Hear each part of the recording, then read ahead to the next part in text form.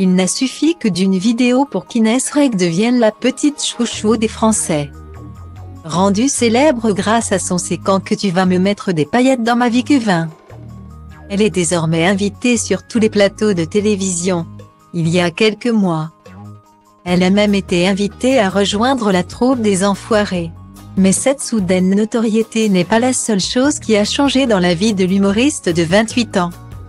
Ces derniers mois, elle a en effet subi une impressionnante perte de poids, alors qu'elle pesait 76 kg en juin 2020.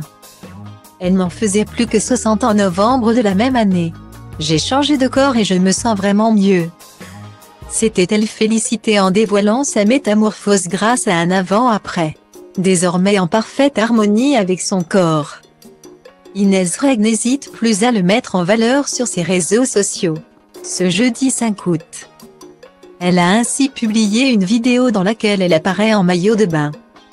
Dans la dite vidéo, Inès Rex s'amuse de sa différence avec d'autres utilisatrices d'Instagram. Comme l'amie avec laquelle elle est actuellement en vacances, et qui n'a pas du tout la même manière de profiter de la piscine. En effet alors que cette dernière se repose de manière sensuelle au soleil, l'humoriste elle, marche avec des gros sabots. Dans la vie, il y a deux sortes de personnes, il y a les meufs instagrammables.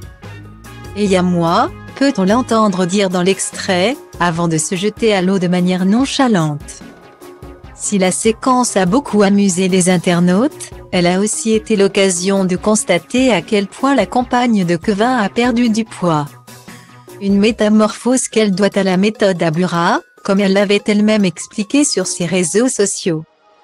Il s'agit d'un régime hypocalorique qui mélange deux méthodes reconnues, le régime keto en graisse et faible en glucides, avec le jeûne intermittent, qui autorise deux repas par jour et un jeûne de 16 heures par jour.